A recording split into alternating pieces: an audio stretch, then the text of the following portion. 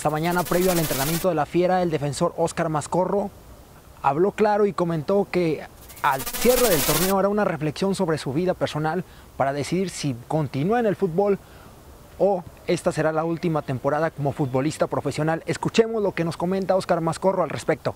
Mira, yo termino mi contrato ahora en mayo, eh, tengo un mes para pensar muchas cosas que traigo en mente. Este, es una, va a ser un mes como para, reflexionar y para tomar decisiones en la cuestión profesional y en la cuestión este, personal.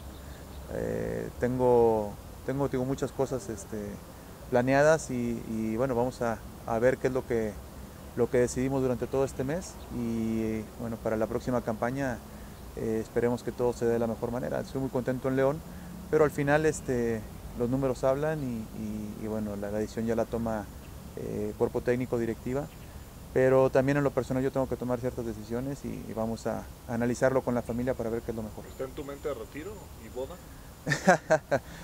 No sé todavía, está en mente el retiro también, este, por, otras, por otras cosas este, es algo que tenemos que analizar este, al 100% y este, empezar a, pues, a, pensar a partir de, del siguiente lunes qué es lo que nos va a deparar el destino. Yo físicamente me siento muy bien, pero este, digo, los proyectos que hay en mente también este, son importantes y vamos a tratar de, de, tomar la mejor decisión.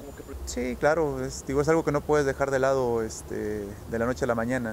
Eh, vives durante 20 años eh, metido en el fútbol, en mi caso durante, durante más tiempo por la, por la situación de mi señor padre, pero este, digo, vamos a, a, vivir el presente y yo creo que la, la carta o la, o la, baraja se va, se va a abrir en el mejor momento y vamos a tomar el camino este, que se nos presente y que con la ayuda del Señor encontremos la mejor decisión.